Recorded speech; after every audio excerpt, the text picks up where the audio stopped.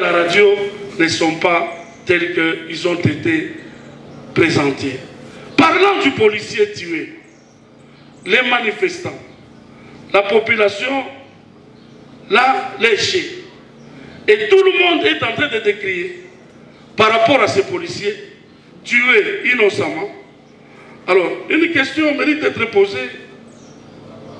Si le ministère public n'avait pas reçu dans le rapport, dans son rapport fait par euh, les tyrans et le quartier général des commandants, ils n'ont pas fait rapport du, du décès de ces policiers. Parce que il est censé savoir que ce sont les deux qui ont appris et qui sont venus informer que le policier est séquestré et que le policier serait déjà tué. Parce que le ministère public a dit, déjà quand vous allez là-bas, vous n'avez pas su le, le délivrer, il était déjà tué. Il était informé comment? Par ces deux. Et ces deux messieurs, est-ce qu'ils ont fait dans leur rapport Est-ce qu'ils ont dénoncé C'est là pour ne pas retenir aussi la dénonciation, la non-dénonciation d'une infraction commise euh, dans- qui relève de la juridiction militaire. Il les a laissés parce que ce sont ses amis et ses complices. Mais je pense qu'au nom de la loi, il a mal tiré son action. Son action devait être tirée vers ses proches. C'est pourquoi, quand le ministère public nous dit, chaque fois dans mon bureau, je reçois des gens qui me demandent qui a tué, il est impuissant. Il m'a il a utilisé ce mot. Je suis impuissant. J'avais même peur quand il dit, il est impuissant de quoi? Je suis impuissant de répondre aux gens. Alors j'ai compris qu'il est impuissant. Pourquoi? Parce qu'il protège les criminels, commençant par le gouverneur et ces gens de la 14e région là, 34e région. Alors comme il les protège, c'est pourquoi il dit aux gens, je suis impuissant de vous répondre, c'est Mikombe. C'est Mikombe. Ah, c'est bien. Moi j'aime euh, cette histoire. Quand vous pointez quelqu'un de l'index, n'oubliez pas que les trois autres se retournent vers toi. Est-ce que les, criminels ne sont pas dans, dans sa cour? Les criminels ne sont pas avec lui. Bon, comme il est ministère public,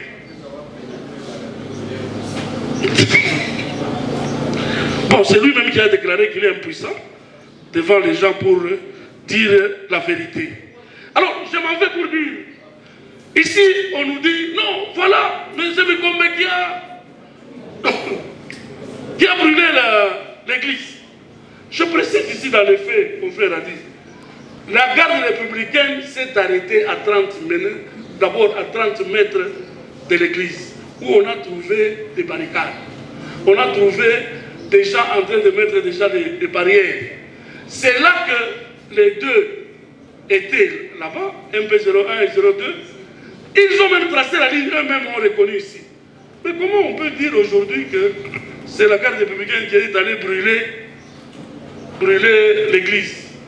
Alors là, je me rappelle que j'étais ici et la cour et le ministère public prenait le maire pour un faux témoin.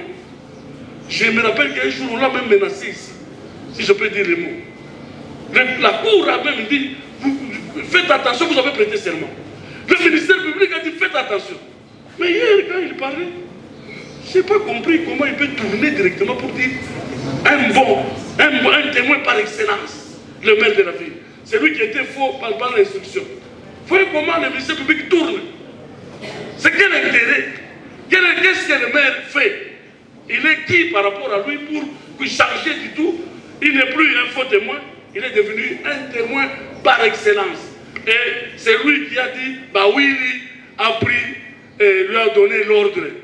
Et on l'a interdit d'entrer, de passer. Non, monsieur le ministère public, c'est lui qui vous traitez de faux témoins. C'est lui qui vous menaciez ici. Vous tenez à tout prix qu'il cite le nom de la GR. Parce que si c'est- s'il n'avait pas cité le nom de GR, il n'allait pas avoir la vie sauve. J'étais là ce jour-là. J'ai même parlé avec le, le maire de la ville parce que euh, je le reconnais aussi, on s'est reconnu. Je l'ai parlé avec lui, il me dit, mais je ne comprends pas. On veut me faire dire ce que je ne fais pas. Alors, j'ai j'ai compris que maintenant que euh, je ne sais pas comment le ministère public s'est retrouvé, c'est son cousin, c'est son frère ou quoi, pourquoi il change comme ça? Alors la Cour n'en tiendra pas compte de ce qu'on veut changer. Qui a dit que l'église est Panza, mais on veut négliger cet aspect, on veut mettre sur le dos de la chair qui a brûlé alors qu'il y a quelqu'un qui est auteur de ce qu'il a dit lui-même, le maire de la ville, qui peut s'assumer. Et le ministère public, il a pris comme, il a pris comme témoin, n'a qu'à prendre ses responsabilités. Donc, à ce stade, comment voulez-vous prendre encore en considération les déclarations de Yves et de MP01 qui disent ceci. Nous sommes arrivés là-bas, il y a des barrières, on discute avec les gens. On pose la question à Yves. Vous étiez à quelle distance avec les autres? Il dit non, ma vie a tué tout. Ma vie a tué tout couchant. Donc c'est à 2-3 mètres. Mais quand on pose la question à, à Franck, Franck il dit nous étions à 6 mètres. Bon, c'est lui qui était, qui était tout proche. Les, les- les chaussures s'est touché même avec les autres. C'est celui-là qu'on a tiré. Lui, il est là, avec ses gardes. C'est celui-là qui avait cette garde. Et on n'a pas désarmé, mais on a désarmé les gardes de l'autre. Nous avons dit ici, amenez-nous, qu'on amène les gardes du corps. Le monsieur public était d'accord, mais après, il a dit, ne viens pas. Le monsieur a dit que je suis malade. Il n'a pas amené ces gardes du corps. Vous alliez voir seulement le caractère dangereux de ces gardes du corps. Vous voyez seulement comme ça, vous dites ça sont les tueurs. Mais on les a protégés parce qu'on ne voulait pas que la cour découvre qui ont tiré dans la foule, qui ont tiré pour qu'on puisse mettre au dos de la garde républicaine. Ce sont les gardes des corps qu'on laisse là-bas. Et sur place, sur place, ils disent, juste quand on a fini de tirer, j'ai compté. Maintenant, mon service de l'Assemblée, il a compté. Ah, en tout cas, je ne sais pas si nous sommes, nous sommes dans un western film de, de Django, je ne sais pas. C'est quel film ça? Sur place, il commence à compter, il a compté 43. Non, 42, et puis un qui est mort sur place, ça devient 43. On venait de tirer sur les lieux. Masasi wana. Même, même si je ne suis pas militaire, wana.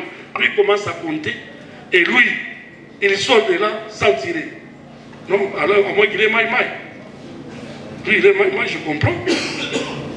Et d'ailleurs, lui-même a déclaré qu'il est l'ami de Ouazzalendo. Chaque fois qu'il sort, c'est lui qui parle avec eux. Apparemment, il a des souches avec lui. Avec eux. Ils les connaissent. Il faut bien suivre les mouvements des des- commandants bataillon quartier général. Parce qu'ils connaissent quelque chose. S'agissant, dont je l'ai déjà parlé, des spectacles émotionnels que le, que le ministère public nous a donné hier avec une photo tirée de Facebook. Ça, c'était un spectacle que je demanderai à la Cour de ne pas faire attention et prochainement que le ministère public n'amène pas ce genre de théâtre devant la Cour. Ce n'est pas bon. Et encore une fois, le ministère public donne des contre-vérités par rapport aux armes. Les armes, je crois que nous allons, quand nous allons plaider, en ce qui concerne de, de, de tension, destruction, mais ici nous voulons dire que tout le monde, la Cour est unanime que lors de l'instruction ici, celui qui est chargé de récupérer les armes a confirmé cette opération de remise et reprise chaque fois qu'on ramasse les, armes. Il a même dit c'est l'accoutumance. La Cour a même posé la question. Il a confirmé. Mais le ministère public vous dit non. C'est Mikombe. C'est Mikombe qui a pris les armes de la République. Il les a brûlées et il les a amenées. Nous allons les rencontrer tout à l'heure en droit. C'est bien d'affirmer. C'est bien d'affirmer en lisant la théorie ou en lisant les libellés. Mais il faut prouver. Voilà pourquoi nous voulons encore une fois, monsieur de la Cour, vous dire que quand il s'agit d'un ordre opérationnel, j'ai aimé, et je ne vais pas me tromper, j'avais vu quand le ministère public était en train de critiquer l'ordre opérationnel, j'ai vu, excusez-moi les juges assesseurs, je vous ai vu les regarder, vous vous étonnez, est-ce que c'est lui qui parle de ça? J'ai vu, j'ai compris. J'ai vu votre regard, j'ai dit, ah, certainement vous êtes posé la question, est-ce que le ministère public sait ce qu'il dit? Apparemment, nous étions ensemble avec vous, vous avez compris que le ministère public s'est écarté de la logique de l'armée. Il, a refusé de comprendre c'est quoi l'ordre opérationnel. Il a refusé de comprendre quand, le colonel dit je dépends des opérations. Sokola 2, je dépends des opérations de, il pense que c'est de la magie. C'est pas de la magie. C'est pas de la magie. À ce stade, à ce niveau d'opérationnalité, ou d'opération, c'est tout à fait normal.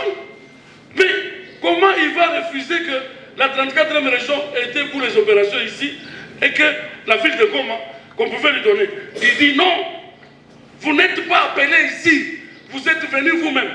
Mais il faut lire.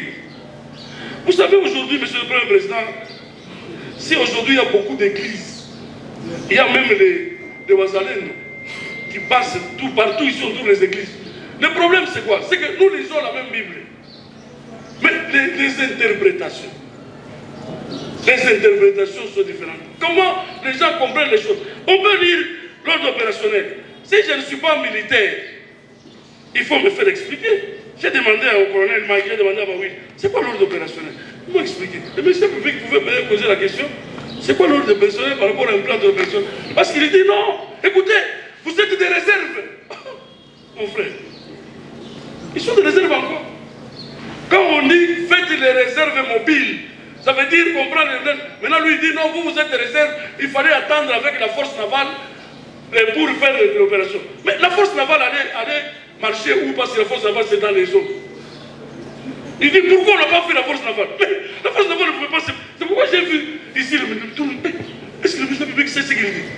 Il dit pourquoi seulement vous? Mais, mais eux, ils sont terrestres. Ils dépendent des forces terrestres. Mais les forces navales ne pouvaient pas être là. Ils attendaient les menaces, les menaces imminentes que le Dérance lui-même a données. C'est là qu'ils devraient faire. Mais ce sont des unités rattachées. Donc, qu'on interprète très bien l'ordre opérationnel, on comprendra que la mission de la GR était officielle. La mission de la GR était faite sans violation des consignes. Parce que la consigne est donnée dans l'ordre opérationnel. Et le colonel vous a dit tout ce qu'il a pu faire. Et si même on dit qu'il euh, a été dévié, on l'a dévié en cours de route, qui l'a dévié? Les mêmes personnes qui sont venues au nom de qui? Au nom de l'autorité du gouverneur pour dire allez nous aider à récupérer les policiers. Et aujourd'hui, on veut prendre ces mots pour tirer contre celui qui voulait donner la vie sauve à ces policiers qui étaient sous séquestre. Alors c'est pourquoi, encore une fois, Monsieur le Premier Président, nous nous posons la question de savoir si l'auditeur militaire ne pouvait pas comprendre que l'ordre opérationnel couvrait la mission de la garde républicaine dans tout ce qu'il a fait. Et aussi, face à un communiqué officiel qui a des rangs d'un rapport du gouverneur, que crédit donné au rapport que les autres lui ont donné? Il dit que les autres lui ont donné des rapports d'RS et le quartier général.